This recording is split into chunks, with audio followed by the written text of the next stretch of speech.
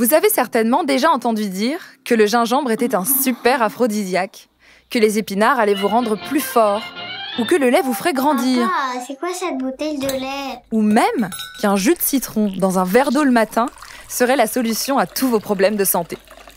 Ah, et puis sans oublier les carottes, qui rendraient aimables et feraient les fesses roses, au passage. Ce comportement, le fait de projeter des croyances dans notre nourriture, relève de la pensée magique. Ça s'appelle le manger magique. C'est quand on s'imagine qu'en mangeant quelque chose, eh on va devenir cette chose. Même quand la science nous démontre le contraire. À l'oral, ce qui symbolise le mieux la pensée magique, c'est l'expression manger du lion. Quand on dit Ah, mais toi, t'as mangé du lion ce matin, on verbalise en réalité l'idée que l'on peut s'approprier les caractéristiques d'une chose en la mangeant. Je me suis donc demandé pourquoi ces croyances existaient encore. Comment se répandent-elles? Quels sont les nouveaux aliments magiques de nos sociétés occidentales? Et existe-t-il, à l'inverse, des aliments diaboliques? Pour décortiquer tout ça, j'ai décidé de rendre visite à Christophe Lavelle. Il est chercheur spécialisé dans l'alimentation au CNRS et au Muséum national d'histoire naturelle à Paris. Il enseigne aussi la physico-biochimie culinaire et c'est le commissaire scientifique de l'exposition Je mange, donc je suis, qui se tient en ce moment au Musée de l'Homme. C'est là que je l'ai rencontré pour cet épisode de Manger, à quelques pas de la place du Trocadéro, avec une vue sublime sur la Tour Eiffel. Je m'appelle Lauriane Melière, je suis journaliste, j'adore manger, mais surtout, j'adore vous en parler.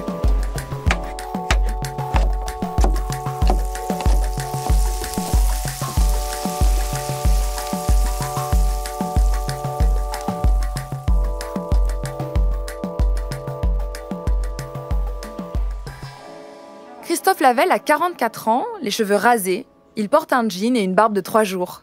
On a poussé ensemble les portes du Musée de l'Homme un mercredi matin, juste avant l'ouverture au public, et nous avons parlé. Bien, nous sommes euh, ici au cœur du Musée de l'Homme, donc le Musée de l'Homme, un des départements du Muséum national d'histoire naturelle.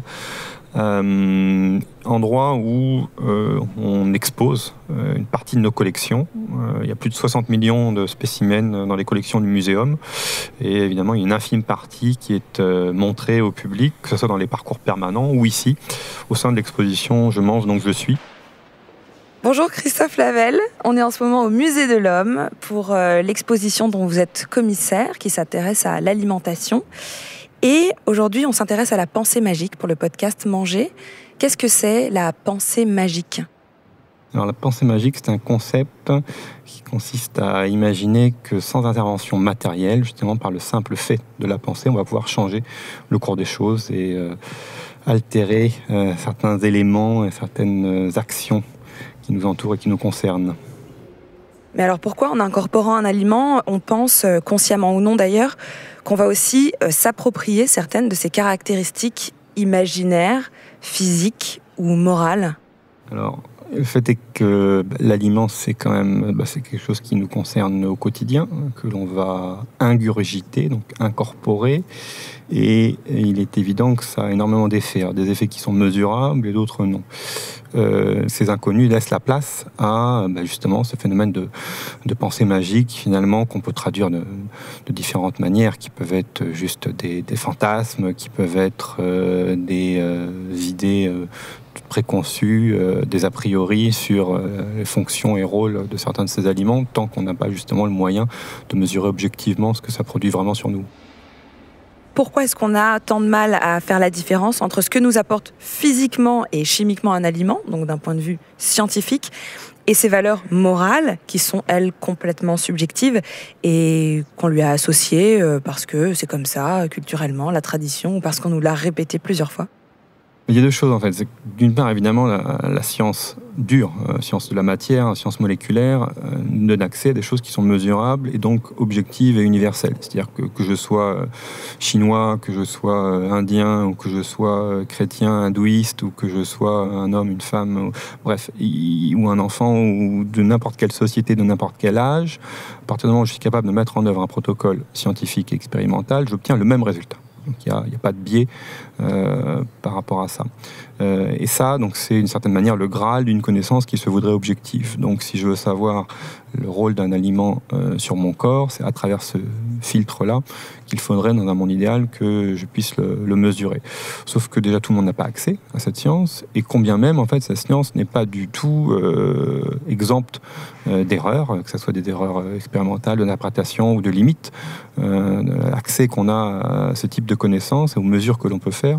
Donc il reste de toute façon, même dans l'état actuel de nos outils, de nos technologies, de notre connaissance, énormément de flou sur le rôle des aliments. C'est d'ailleurs un problème, puisque du coup ça laisse la place à encore beaucoup de fantasmes. Et donc la science progresse au fur et à mesure, mais n'a certainement pas réponse à toutes ces questions qu'on se pose sur les aliments. Or, on se rend bien compte que euh, les aliments euh, et notre manière de nous alimenter recouvrent euh, un impact extrêmement important sur notre vie quotidienne, sur notre santé à court terme, sur notre santé à long terme. Et tant qu'on n'a pas toutes les clés moléculaires pour expliquer ça, eh bien, la porte reste ouverte à toute forme de, pensée, donc pensée magique et autres fantasmes. Si l'on pense que l'on devient ce que l'on mange, c'est parce qu'on n'a pas tous accès aux sciences de la même façon, ni au même moment. Face à des questions laissées sans réponse, on va avoir tendance à faire appel à des croyances, à des mythes qui nous rassurent. Ces croyances s'enracinent ensuite profondément dans notre culture et dans nos traditions. Et une fois qu'elles y sont, c'est compliqué de les déloger, même à coup d'études scientifiques. Une autre raison de l'ancrage de ces croyances, à ne pas négliger, c'est le pouvoir bien réel, lui, de l'effet placebo. Il peut y avoir aussi le fameux effet euh, placebo, qui n'est tout sauf négligeable, puisque c'est un effet extrêmement important d'un point de vue psychique qui consiste à se dire que même, je mange des carottes, je trouve que ça me fait du bien, même si d'une manière ou d'une autre la science un jour m'explique que euh, j'ai sans doute un peu rêvé, n'empêche que ça peut continuer à me faire du bien parce que moi j'y crois et ça c'est pas du tout négligeable, dire que c'est pas quelque chose qu'il faut balayer, pour lequel il faut avoir du mépris parce que c'est tout simplement euh, quelque chose de tout à fait tangible. Le fait est que vraiment cet aliment me fait, me procure tel ou tel bien-être et peu importe si la science me dit que c'est pas que c'est pas vrai ou qu'il n'y a pas de raison moléculaire à ça, c'est ce que ça produit sur moi, donc continuons euh, et, ça, il faut, garder ça, effectivement. Euh, faut pas du tout négliger ça. C'est tout à fait euh, important. Et encore une fois, c'est très prégnant dans tout ce qui touche l'alimentaire parce que c'est pas du tout anodin. Bah, d'ingurgiter, d'incorporer quelque chose. On a quand même bien cette idée d'une sorte de fusion de l'aliment avec son corps. Et, donc c'est vraiment le sujet idéal pour véhiculer énormément d'idées, euh, d'impressions, d'effets sur, euh, sur son corps. Si la pensée magique est omniprésente, c'est donc parce que l'on incorpore un aliment. On ne fait plus qu'un avec lui. Et comme on mange trois fois par jour, ça devient quelque chose de quotidien, auquel on ne peut pas échapper. J'ai demandé à Christophe Lavelle pourquoi on a tellement besoin d'associer des idées à ce que l'on mange et de donner du sens à nos aliments c'est normal qu'il y ait cette volonté de vraiment tout maîtriser, tout comprendre pour anticiper les effets de nos choix alimentaires. Et, euh, ça, ben, on se rend bien compte dans le débat public que la science est loin de pouvoir apporter un avis tranché par rapport à ça. Euh, on ne compte plus les exemples où euh, il y a des espèces d'effets de, mode, ou des, mm, même à travers des discours scientifiques, où on va mettre en avant tel aliment, et puis 5-10 ans plus tard, on dit attention, en fait, on, bon, on s'est peut-être un peu trompé, ou on a peut-être été un peu trop loin on va nous dire qu'il faut manger euh, de la viande rouge parce que ça donne des forces, du fer, etc. Puis 20 ans plus tard, ah oui, mais dis donc, euh, on se rend compte que ça favorise peut-être le cancer du côlon si on en mange trop.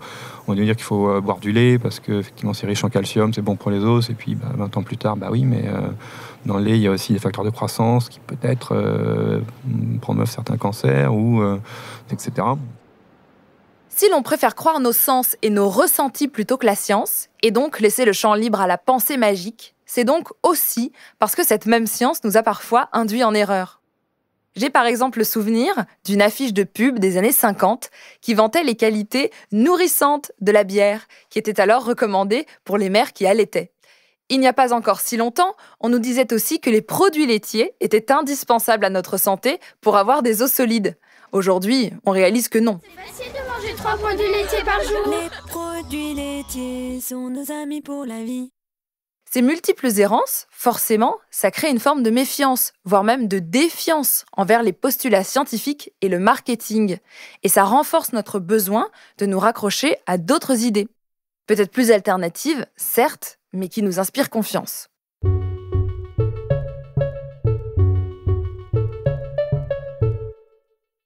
Quand j'ai commencé à travailler sur cet épisode et à lister différentes démonstrations de la pensée magique autour de moi, j'ai tout de suite pensé à trois aliments.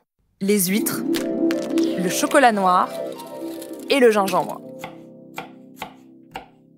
Parce que la nourriture aphrodisiaque, c'est un peu le Graal de la pensée magique. C'est l'exemple parfait d'une croyance qui n'a jamais été prouvée scientifiquement, mais qui continue de se propager partout et à toutes les époques. Pour être honnête, moi, je mange des huîtres par douzaine et j'ai jamais constaté quelque chose de particulier. Hein. Pourtant, l'idée perdure. Et puis en France, on parle de gingembre et d'huîtres, mais c'est valable partout. Toutes les régions du monde, tous les pays ont leurs aphrodisiaques supposés. Il y a pas longtemps, j'ai vu un épisode de la série Street Food sur Netflix sur un Philippin qui a redynamisé toute sa région en préparant une soupe d'anguille censée redonner de la vigueur au sexe masculin. La nouvelle s'est tellement vite répandue et sa recette a attiré tellement de monde qu'ils ont même construit une route pour aller jusqu'à sa cahute. Avec Christophe Lavelle, on s'est donc baladé dans le musée de l'homme à la recherche de ces fameux aliments réputés aphrodisiaques. Et on n'a pas mis beaucoup de temps avant de les trouver. Si on continue justement dans ces idées de, pensée magique, on tombe très vite, notamment toujours dans cette idée de distinction homme-femme, sur tous les fantasmes dont on a parlé autour des aliments qui seraient euh, aphrodisiaques. Donc, euh, que ce soit la corne de cerf ou euh, le cacao ou les huîtres, on a bien sûr beaucoup de discours qui sont véhiculés à travers leur rôle bah, réel éventuellement, mais ça reste compliqué à, prouver ou surtout fantasmer, ou ça oui, clairement on le voit, de ces différents aliments sur, sur la physiologie féminine ou masculine. Là, sur cette vitrine, mais justement, on voit bah, du cacao, quand même, des fèves de cacao. on voit des huîtres. on voit un bois de serre donc euh, qui sont un peu les emblèmes euh, des aliments euh, aphrodisiaques. Alors pour le bois de serre, c'est évidemment bah, c'est pour l'homme que c'est censé être aphrodisiaque parce qu'on on se projette dans la virilité du cerf. Pour l'huître, bah, c'est pour la femme que ça va bien fonctionner parce qu'on se projette dans la fécondité et puis dans l'analogie avec le sexe féminin et la forme des certains bivalves. Et puis le cacao, bah, là il n'y a pas de sémantique, on va dire visuelle particulière. Hein. donc là pour le coup, on peut se dire qu'il y a quand même sans doute un effet biochimique parce qu'il n'y a pas de raison d'associer une de cacao ou du chocolat un effet aphrodisiaque, à part bah, justement le fait que peut-être que le chocolat contient des molécules type arginine ou euh, théobromine qui vont favoriser la sécrétion de certaines hormones ou tout simplement procurer du plaisir parce que c'est un aliment qui euh, bah, qu'on aime, qu'on apprécie, euh, peut-être avec le sucre aussi qu'on y ajoute dans sa confection, qui font que ça va nous mettre dans de bonnes dispositions et, faire acquérir cet aliment son, son rôle d'aphrodisiaque presque universel qu'on voit dans la, qu'on voit encore aujourd'hui. Pourquoi est-ce que j'ai l'impression que beaucoup d'aliments réputés magiques ou miraculeux gravitent autour de la sexualité? Ah bah, ce qui se trouve que la sexualité, c'est ce qui occupe quand même beaucoup euh, l'homme euh, à côté de l'alimentation. L'alimentation, on n'a pas le choix, il faut bien qu'on mange pour survivre, donc ça, évidemment, ça nous occupe au quotidien. La sexualité, c'est ce qui nous permet, a priori, de nous reproduire, donc de faire perdurer l'espèce. Et euh, à travers la nourriture aphrodisiaque, on associe vraiment les deux. À la fois ce souci de sexualité et ce souci de manger. Et quitte à manger, autant manger les aliments qui vont nous permettre justement de nous reproduire le mieux. Euh, d'où euh, tout l'imaginaire euh, véhiculé autour, effectivement, alors de manière à la fois qui paraît est tellement évidente qu'elle en est comique, effectivement, voilà, ces, brochettes de pénis ou ces, anguilles qui vont donner de la vigueur aux hommes, aujourd'hui ça nous fait sourire, enfin en tout cas ça fait sourire tous ceux qui essayent d'avoir une vision un peu rationnelle de la chose, euh, mais une fois de plus c'est totalement non fondé d'un point de vue moléculaire hein, de ce qu'on comporte l'aliment. Si la pensée magique peut parfois faire sourire, avec des exemples de denrées alimentaires supposées aphrodisiaques, elle peut parfois faire référence à des rites très sérieux, voire même carrément religieux. Christophe Lavelle m'a parlé de la puissance symbolique de l'igname, une sorte de pomme de terre tropicale en Papouasie-Nouvelle-Guinée. Dans l'exposition, derrière une grande vitrine, on a placé des mannequins grandeur nature, en tenue papou traditionnelle. On devine à peine leur visage sous des feuillages et des tresses de végétaux. Au milieu d'eux, il y a l'igname. Il y a même un personnage qui devient l'igname, comme s'il se réincarnait le temps de ce rituel en l'âme du défunt. On a euh, l'exemple ici qu'on montre dans l'exposition de l'igname, euh, qui est un magnifique tubercule euh, auquel les Abelham, donc Papouasie-Nouvelle-Guinée, vouent un culte très particulier. Et mais donc ça veut dire quoi? C'est-à-dire que dans la manière de le, cultiver, de le récolter, ils le personnifient, ils le prennent vraiment comme la chair des ancêtres. Donc il y a vraiment un côté extrêmement manière de véhiculer, de faire le lien entre les générations les unes après les autres. Euh, et à travers ce culte de la culture et de la consommation de l'igname, il y a cette idée de communication avec les ancêtres, avec l'au-delà et donc avec les dieux. Et ça reste un tubercule. Alors nous, on regarde ça de manière un peu perplexe. quand je dis nous, euh, société occidentale matérialiste, mais il faut savoir que c'est un culte extrêmement présent euh, et qui vraiment rythme la société des, des on a parlé là des, justement des, des populations de, Nouvelle-Guinée, de cette culture de l'igname. Qu'est-ce qui se joue avec euh, ces croyances? On doit bien y trouver quelque chose. Est-ce que c'est une forme de spiritualité? Est-ce que c'est de l'ésotérisme alimentaire? Euh, Un petit peu comme le sel. apparemment, il faut mettre un peu de sel devant sa porte. Ou bien on fait brûler de l'encens ou de la sauge pour éloigner les esprits. Est-ce que, est que l'alimentation et le, le manger magique est une forme de spiritualité? Oui, bien sûr, ça participe beaucoup. Dans, dans, la plupart des religions, il y a un, facteur alimentaire qui est présent. Encore une fois, parce que comme l'aliment est quelque chose d'obligé, d'une certaine manière, au quotidien, c'est normal que la religion, qui est censée rythmer notre quotidien, incorpore justement cette, euh, une partie euh, liée à l'aliment. On a ça dans les euh, religions monothéistes aussi beaucoup, dans le christianisme, avec évidemment le bah, la scène et puis donc du coup cette transmission du corps et du sang du Christ euh, à travers le vin et le pain. Euh, donc euh, c'est quelque chose d'extrêmement naturellement présent qui, bah, qui permet de rythmer bah, au cours de l'année avec tout un tas de cérémoniales, de rythmer parfois les journées, de rythmer les temps forts que peuvent être les repas, qui restent des temps aussi collectifs où on se rassemble, que ce soit en famille, que ce soit en, dans des groupes plus importants, en tribus. Euh, donc c'est normal que tous ces moments sociaux, en fait, aussi soient euh, ritualisés euh, à travers notre alimentation. Les aliments ont une portée physique, culturelle et symbolique. On projette nos croyances dans ce que l'on mange et cela renforce le groupe auquel on appartient. Si je suis ce que je mange et que d'autres font comme moi, nous sommes donc de la même famille, du même clan. C'est le principe sur lequel reposent les rituels alimentaires religieux. Mais existe-t-il d'autres groupes, autres que les religions, qui se fédèrent grâce à la pensée magique? Donc c'est vraiment une construction sociale. Euh, cette, ces manières, ces comportements de table, mais en fait qui ne sont pas propres à la religion, parce qu'on le voit aujourd'hui à travers une autre forme que d'ailleurs certaines qualifient de religion, mais ça n'a rien à voir avec la religion. Mais quand on va parler du véganisme, par exemple, on dira euh, c'est la nouvelle religion, euh, c'est pas du tout la nouvelle religion, mais c'est par contre ça relève du même principe de rassembler, de s'identifier à travers un comportement alimentaire très précis qui met en avant des interdits. Effectivement, c'est souvent la manière la plus simple. Euh, la plus efficace de s'identifier et, de rejeter d'autres comportements, c'est l'interdit. Et donc, bah, on va se rassembler entre végétaliens. Voilà, on a nous, euh, peuple végétalien, euh, refusons euh, la consommation de toute source alimentaire animale et, on met en avant ce comportement-là et on essaye effectivement de, bah, propager, comme dans les religions, effectivement ce comportement et d'avoir cette tendance à mettre en avant ce qui serait la bonne manière euh, de manger et de rassembler autour de soi un maximum de, personnes qui vont adopter euh, le même comportement. Euh, c'est jusqu'à de ce qu'on appelle aussi l'orthorexie, finalement, aujourd'hui, qui me semble, de, une fois de plus, pas de nouvelle religion, mais d'une grande tendance alimentaire qui consiste à associer aux aliments des propriétés bien précises et justement à adopter un comportement extrêmement rigide euh, on va rejeter euh, tout, euh, je sais pas, par tout aliment non bio parce qu'on n'imagine pas, ne serait-ce que l'idée d'avaler une pomme qui aurait été traitée aux pesticides nous rend complètement malade. On a souvent tendance à penser que les croyances liées à la nourriture sont très anciennes, un peu archaïques et n'ont plus cours aujourd'hui, sauf quand on parle de religion. Pourtant, la pensée magique est encore très actuelle.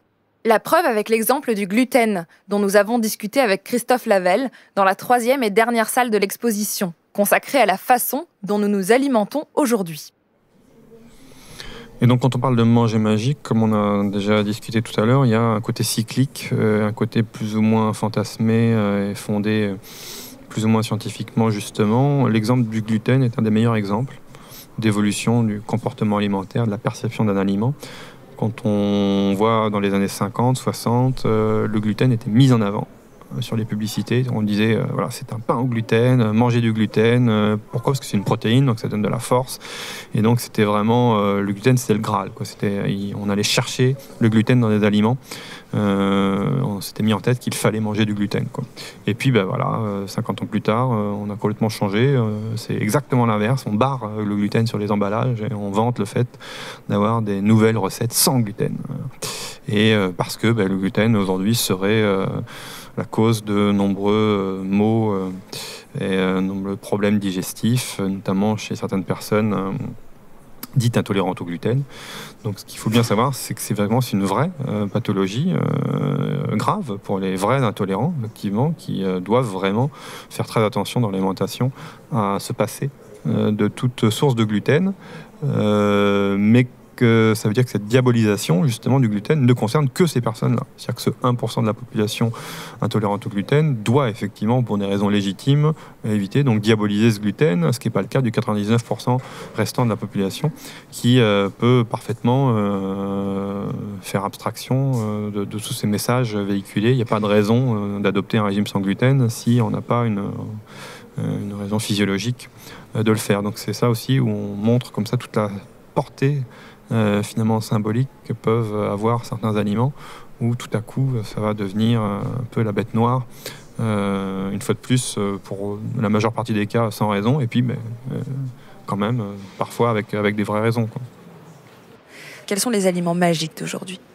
L'élément magique d'aujourd'hui, il y a toujours ce que le, marketing euh, nous apporte toujours des, nouveaux aliments euh, soi-disant euh, indispensables ou, justement aux effets extraordinaires. Il y a beaucoup de super aliments, c'est comme ça qu'on les appelle aujourd'hui. Hein, c'est une fois de plus un effet de mode.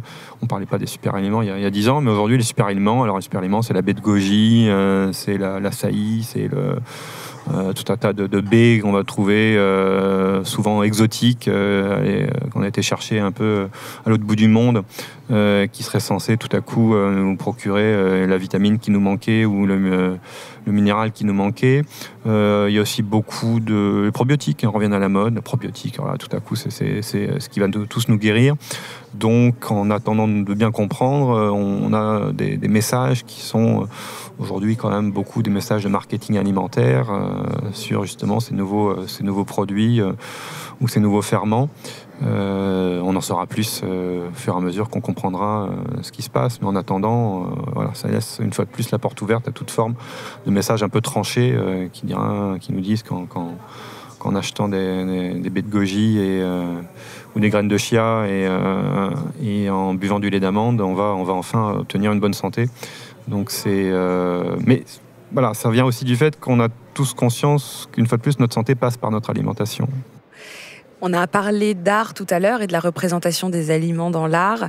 Euh, peut-être que l'art était le marketing euh, d'autrefois. Est-ce que c'est la même chose aujourd'hui? Parce que moi, quand je vois souvent des photos de quelqu'un euh, euh, qui croque dans une pomme, c'est toujours quelqu'un euh, hyper souriant, plein de vie, qui montre qu'elle est en bonne santé et que peut-être la pomme et la bonne santé sont liées. Est-ce que c'est ce que véhicule aussi aujourd'hui le marketing ou l'imagerie actuelle pour renforcer les caractéristiques ou la symbolique d'un aliment?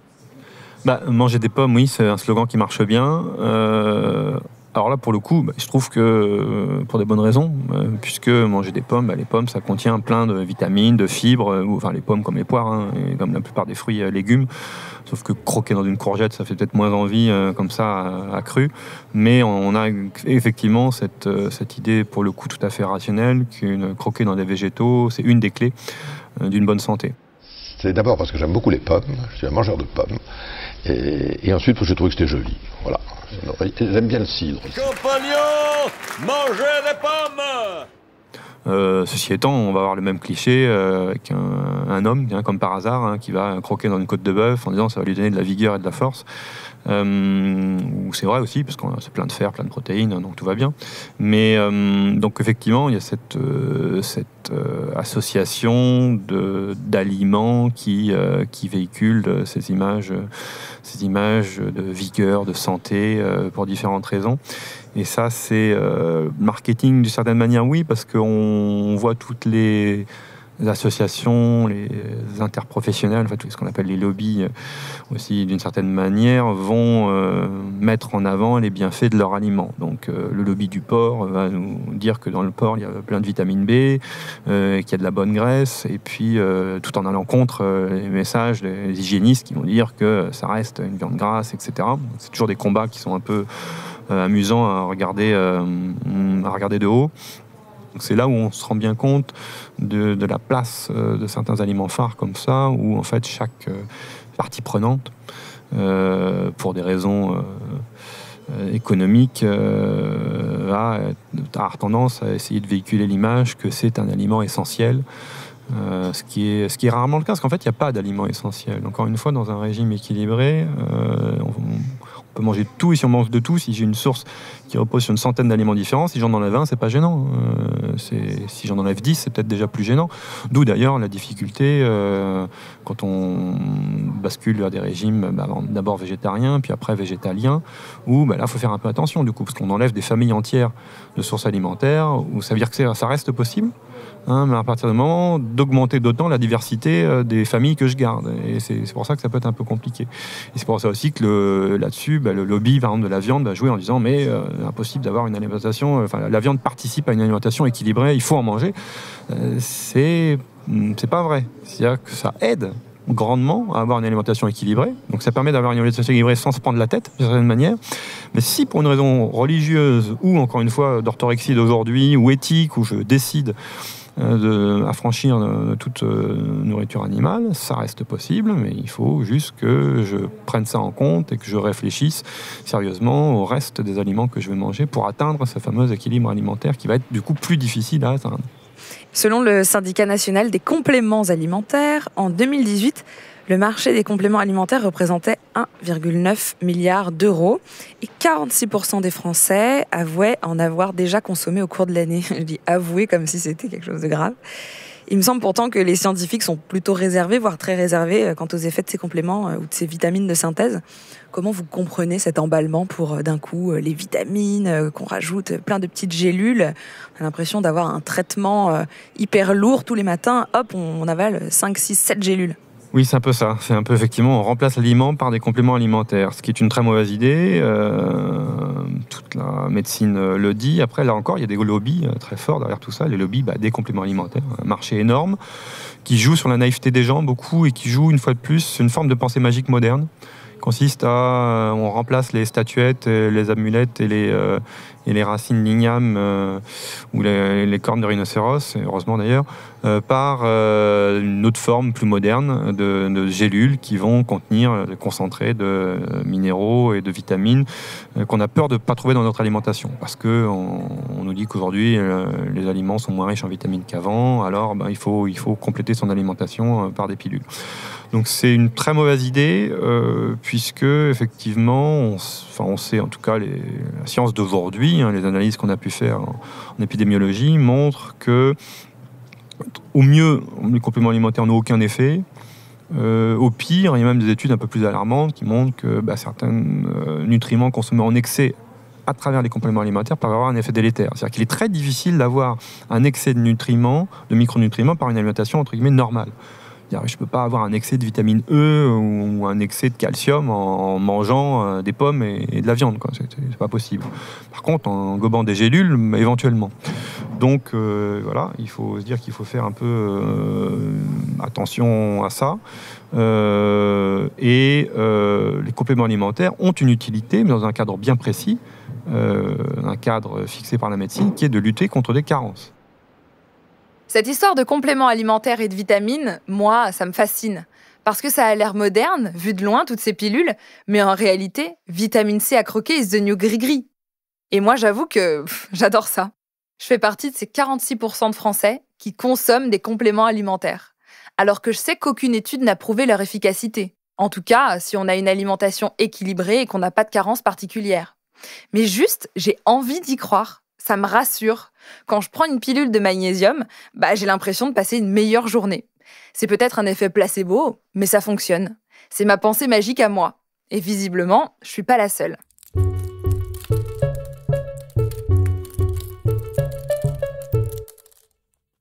C'était le septième épisode de Manger. Avec Christophe Lavelle, on a fait la lumière sur les concepts de pensée magique et de manger magique. On comprend mieux pourquoi nous projetons tant de croyances sur ce que l'on mange. D'abord, parce que l'action même de manger est intrusive. On va littéralement mettre dans notre bouche, dans notre corps, un élément étranger qui va avoir un effet direct sur nous et sur notre santé. Et ça, c'est loin d'être anodin. Ensuite, il faut comprendre que pendant longtemps, la science n'avait pas assez de recul pour expliquer les principes de base de la nutrition ou pour analyser les propriétés physiques et chimiques d'un aliment. On se basait donc sur ce que l'on ressentait, sur ce que représentait culturellement un aliment ou même sur son aspect pour en supposer les propriétés. Et aujourd'hui, ces idées perdurent, malgré les éclairages de la science.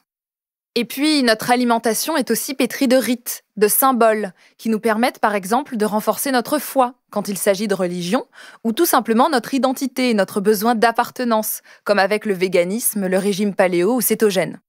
On croit au pouvoir des aliments depuis des siècles et ça ne semble pas prêt de s'arrêter.